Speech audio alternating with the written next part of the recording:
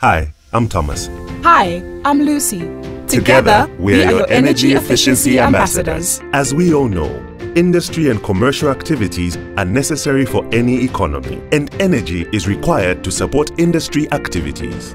Large amounts of power are required to support commercial activities. That's true, Thomas. Economic development is good for the country. But Munduandi, not all energy used in industry is for production. The reality is that some of the power is actually wasted through inefficiencies. There is a solution to this problem energy efficiency. By practicing energy efficiency, industry can actually save not only energy but also money, while at the same time producing the same quantity of goods or services. Some examples of energy efficiency in industry include effecting power factor correction through installation of reactive power compensators and preventive maintenance on machinery and motor vehicles. By the way, households are not excluded. They too can practice energy efficiency at home by switching to efficient lighting, smart meters, solar water geysers, and improved cooking stoves.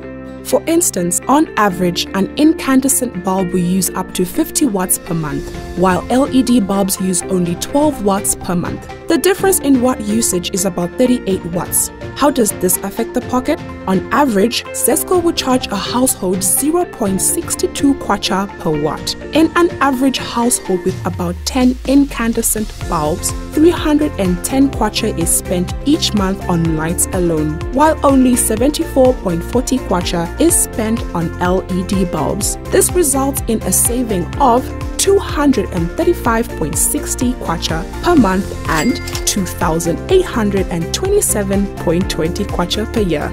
It's a no brainer, people. Energy efficiency is definitely a win win solution that helps to save money. And the cherry on the cake is that by practicing energy efficiency, both industry and households can contribute to keeping electricity tariffs down. And the bonus is that if industry, commercial, and households practice energy efficiency, this would result in energy savings that are equivalent to building a new power plant of 250 megawatts by 2030. Saving money and managing load shedding is music to the ears.